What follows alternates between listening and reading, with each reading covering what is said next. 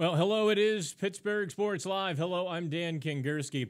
Uh, hopefully, we can get through this. Uh, there's a little gremlin we're chasing here. I want to get into uh, Pittsburgh Penguins training camp today. Lots of stuff coming from that this weekend. Pittsburgh Hockey Now, uh, me, Shelly Anderson, all over it this weekend. And what I really want to get into, Kessel and Malkin spoke on Sunday. We've got a couple highlights from that I think you really need to see. Phil Kessel's smile when we asked him about the fan backlash on the media. Before uh, beat writer extraordinaire Jonathan Bombulie even finished the sentence, in fact, as soon as uh, Jonathan started the sentence, Kessel's face, it, it, it just it, this big Cheshire cat grin, you know, you know Kessel's really happy smile. Uh, he, he let it loose. He knew what we went through. he might not care or he might not admit. I'm sure he watched uh, a lot of you take it out on us with a little bit of uh, delight and glee. We also talked with Evgeni Malkin. We've got more on Matt Cullen. Penguins lines are set for tonight against uh, the Buffalo Sabres. We'll get into that here in just a couple seconds. Let's, uh, well, I, I guess I'll hold the Steelers stuff till late in the show. Antonio Brown just decides, eh, I'm not coming to work on Monday. hey, boss, I got the flu. yeah, what a day. So uh, tonight in uh, Buffalo, the Penguins lines will be Jake Guentzel on the left, Derek Grant in the center, Daniel Sprong on the right side. The second line, I think, is Teddy Blueger in the middle with Thomas Di Pauli on the left and uh, Jimmy Hayes on the right side in a little bit of a an odd switch. And this is why I, I guess we can't read too much into training camp lines because Zach Aston Reese, and we've got some uh, sound from him. I, I, had a chance to talk with him one on one in the Penguins locker room on Saturday. He's been playing left wing to Evgeni Malkin in the first uh, three four days of camp. Well, tonight he'll be on the right side of Jordy Bellerive and Dominik Simon. So I guess this is why the first couple games of the hockey preseason are, are just essentially bunk. I asked Jacques Martin. I, I, was curious because I I would kind of try to get some combinations that you know or that you want to see together as soon as possible. Let them really start to, to work on a few reps. But uh, Martin, who is, the I don't want to say interim head coach, but he's uh, handling the fort while Mike Sullivan deals with uh, the loss of his father and Pittsburgh hockey now, and all of us uh, here at Pittsburgh Sports Live certainly send our condolences, prayers, and strength to the Sullivan family. Martin is handling things in the interim, and he said after the second preseason game, then you're going to see a bit more legitimate defensive combinations and, and a bit more in way of the lines. So, um, ZAR goes from left wing to right wing tonight. J.S. Dea will center the third line. Garrett Wilson, career minor leaguer on the left side. Anthony Angello, an interesting prospect, will be on the right of uh, that line. And what I, I, I guess we'll, we'll, get straight to uh, to Malkin and Kessel. You know, best friends. Sing along with me. here they are just sucking wind after some uh, conditioning. That was uh, kind of uh, funny to watch because first Kessel went down and then Malkin went down. Uh, they were skating pretty hard. It wasn't uh, it wasn't an easy drill after the scrimmage when those two needed some air. Uh, it looks like they're going to be together though. The Penguins have created a couple bedrock combinations to start camp. Guentzel with Crosby, Malkin with Kessel. And if Derek Brassard were not ill, he would have been with Patrick Hornqvist at the start of camp. But let me show you eh, here, you get a little taste of Phil Kessel in the locker room on Sunday. And just wait till about 30 seconds in. Watch the grin from Phil You're Kessel. The kind of guy who likes to be out there every single night. But the, you also could probably look at the other side and say there might be a benefit to rest down the stretch. How do you balance that in your mind? I always play, so right. you know whenever I can play, uh, I'm going to be out there. I don't think it you know makes that much of a difference. Phil, were you surprised to see some of the talk about there being a problem between you and Sully? What was your side of that? You know, I think some people make issues that aren't there, and you know, uh, it is what it is. I know. I could probably speak for everybody. When we would write something about like maybe there's an issue with Sully or maybe the Penguins might trade Phil, we get crushed with emails and tweets and everything from fans. Yeah, there you go. And I wonder, could you sort of talk See about it? the fan support you've gotten here in Yeah, Pittsburgh? the fans have been great to me the, um, my years here, and you know, uh, we've had some good years here. So uh, you know, I love them, and you know, they've always been supportive, and they're great fans here. Did you see the smile? oh, Phil knew he had us. Maybe in 10 or 15 years. One of us who, uh, who knows what went on this summer and last May, maybe one of us will tell the story in a book someday. Who talked, who didn't talk. Um, was it really uh, friction? I guess we don't want to relive that now. But suffice it to say, the only thing I think I take umbrage over are the, the few people who say we all made it up. If you think we colluded with some of the people who absolutely hate us to put out the same story, yeek. You know, you know how that goes. But uh, bygones, you can forgive, I can forgive, and we'll all uh, move on. Kessel.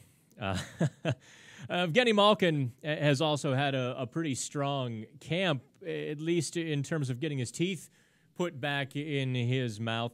And here's where a couple stories collide. Because Malkin and Kessel, uh, obviously getting their chemistry back, I loved when uh, Malkin, let me see if I can pull it up here. It is on uh, Pittsburgh Hockey Now, part of our PHN Extra package. Malkin just was uh, blunt honest. Yeah, the coach was a little bit upset with us, meaning Malkin and. The- Mike Sullivan was upset with how they played in the defensive zone, with uh, that they passed too much, that they were allowing more goals, that there was just a lot of things that pair needed to improve. And it was nice to hear uh, Malkin admit that. It was something that we've known, we've, we've hinted at, we've, we've kind of proffered that and, and put it out there. I know a lot of us have.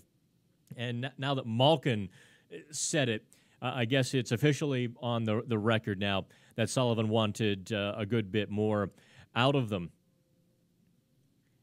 So Malkin had uh, took a high stick, I we think from Bellerive in the unofficial workouts, or maybe it was someone else before training camp started. And then on Saturday, a couple minutes in, Malkin takes a high stick from Matt Cullen, of all people. And I'll tell you what, Matt Cullen has had a camp.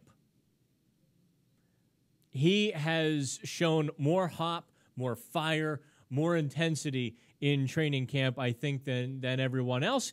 Part of that, obviously, is excitement to be back.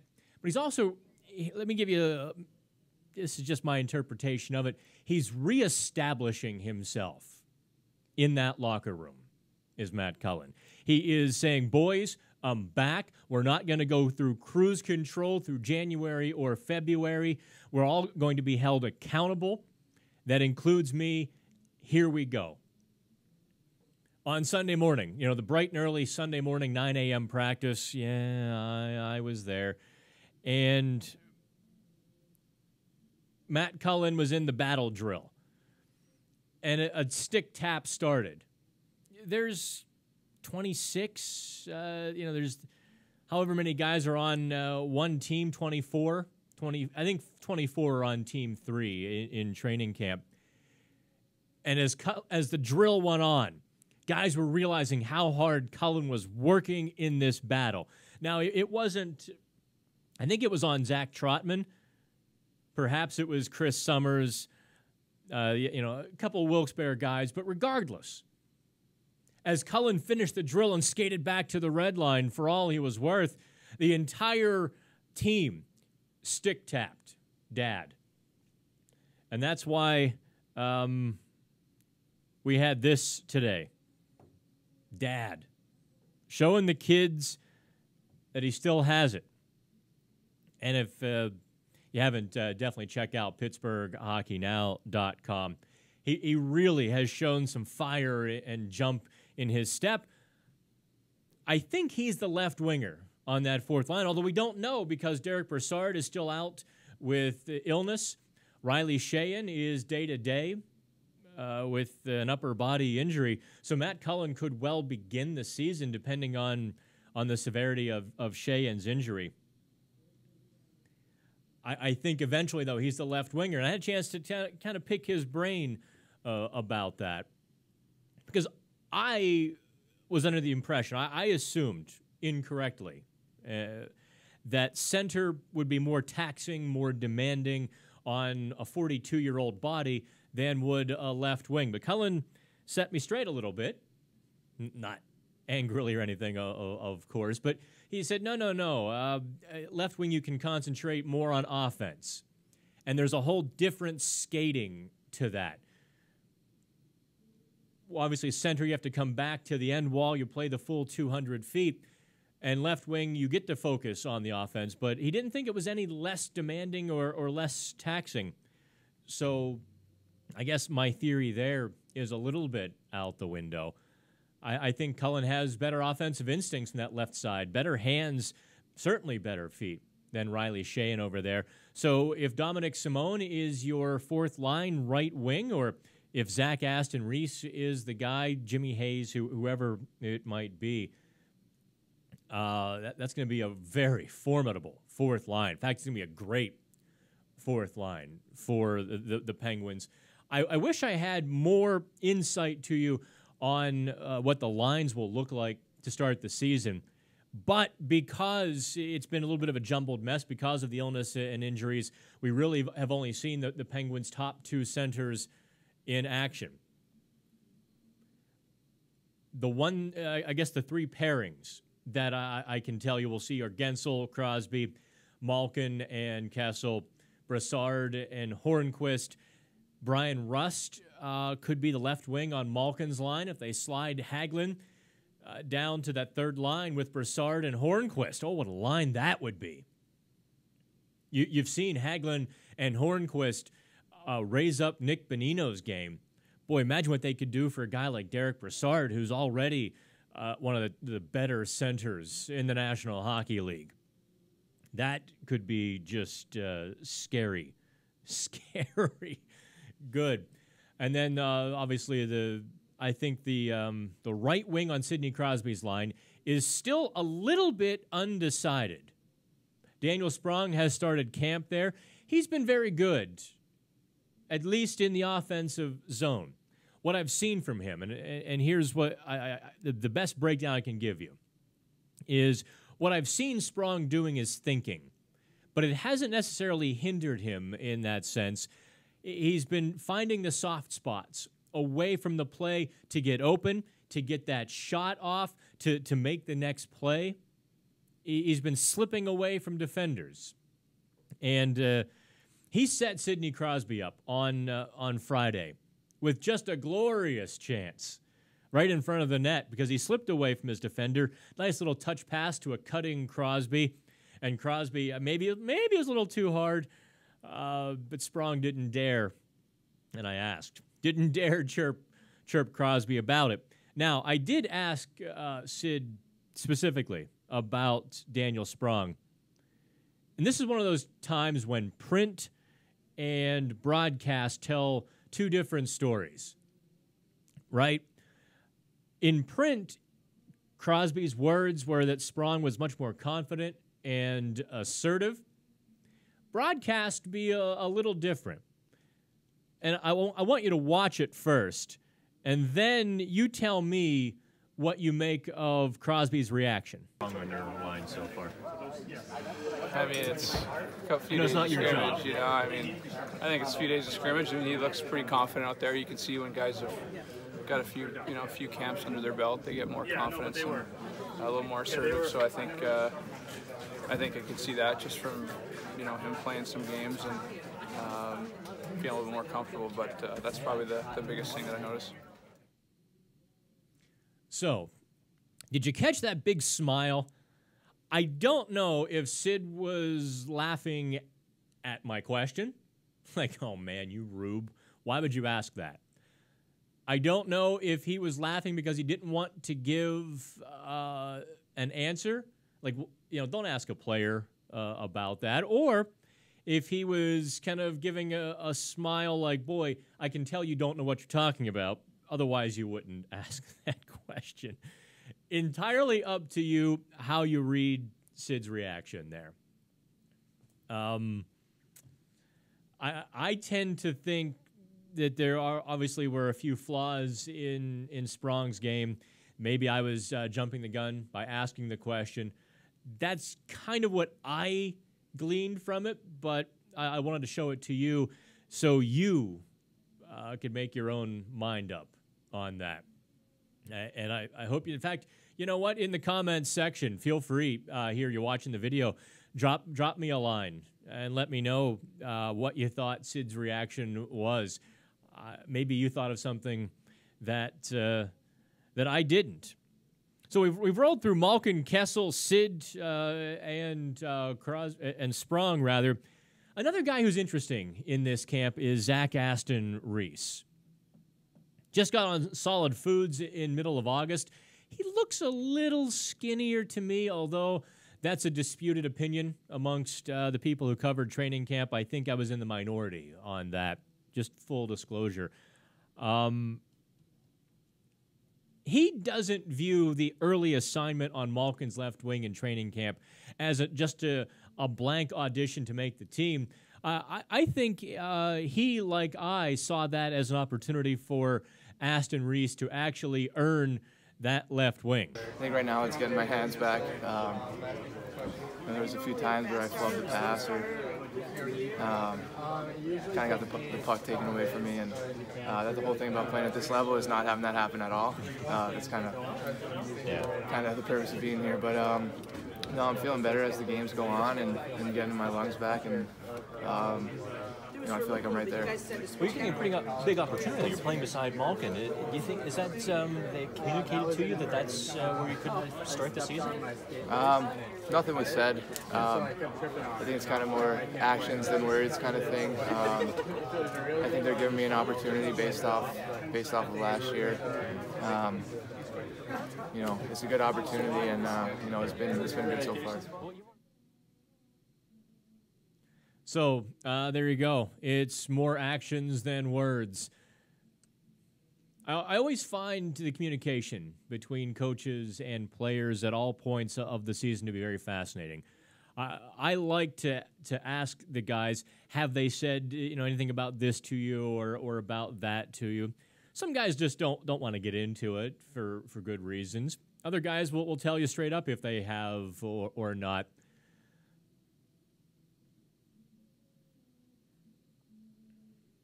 So um, I, I, think we might have just stopped. Uh, I apologize if we have. It's it's it's an incredible deal uh, to me. When I you know as a player, I'd be like, "Hey, coach." What's what's this mean? What's that mean? But I guess that's uh, that that's not the hockey way. And uh, yeah, I guess we have stopped broadcasting live, but you can uh, watch the, the full video uh, a little bit. In fact, uh, unless you're watching it live, you'll you'll get to see the uh, the recorded deal. Just a, a weird uh, technical technology technology day. I can speak. Uh huh. See, I got the vest on, by the way, too. What do you think? I'm becoming the the vest guy. Uh, I think Th- there's a fine line between when, when you wear a vest, fine line between being the 3 a.m. blackjack dealer living out of the trailer in Laughlin and being the, uh, the, the preppy, douchey boyfriend in every Lifetime movie who doesn't quite appreciate the girl's frumpy sense of style and her six cats before she finds love that was in front of her all along in, in the guy washing her car and running all of her errands for her you can tell I think highly of Lifetime movies and the Hallmark Channel. I mean, thank God for the Hallmark Channel, right? Otherwise, what would Jennifer Love Hewitt do for for a, a living? Let, us get to the Steelers here before uh, we wrap things uh, up. Antonio Brown doesn't show up for camp, or I mean, uh, practice today. Per Ed Bouchette on Twitter, this will be a developing story. What just a ridiculous implosion of this team. It does remind me a, a bit of the uh, turn of the century Steelers, turn of the 21st century. Uh, you know, when when everything just hit the fan, kind of uh, later in Bill Cowher's tenure, before they had that Super Bowl run against the, the Patriots, when there was the whole Kent Graham, Kordell Stewart stuff, and horrible, vicious rumors were flying around town, people calling for Bill Cowher's job. The Steelers were talented, but not putting rubber to the road. A few 8 and 8 seasons, missed the playoffs, and everybody was just up in arms. And Mike Tomlin has this great record, but there's no sense that the Steelers are a disciplined, cohesive unit. Levy, uh, Le'Veon Bell's situation, and um, I'll show you something here on that in in just a second too. Brown blows up on the sideline. You saw Ben Roethlisberger shooing him away, com- coming to the huddle late in the game. At some point, don't the the the Steelers kind of put their foot down on some of these guys? And at some point, don't you have to take a step back to take a step forward? Because let me tell you something: the Steelers could very well be out of the playoff race, out of the wild card chase in the next three four weeks. It could get ugly around here, especially if Tampa Bay hangs four, five, six touchdowns on them. If Ryan Fitzpatrick, who what's he have, eight, nine touchdowns this season? If Fitzpatrick just uh, torches the Steelers and they lose that game on national TV, oh, it's going to be really ugly. And then you've got this stuff tearing apart the locker room.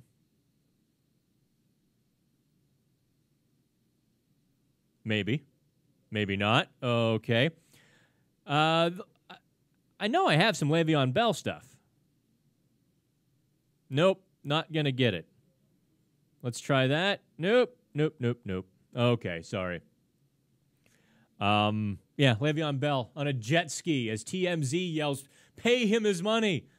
It's like, ah, TMZ sports, you got to be smarter than that. Even I know, and I'm usually a week behind uh, learning this stuff. The Steelers can't pay him any more than than what they've already uh, put on the table. It's take the franchise tag or don't, and come back next year and do it, or report in week nine or ten and get your service time in so that the the year counts. Let me say this very sternly and and boldly.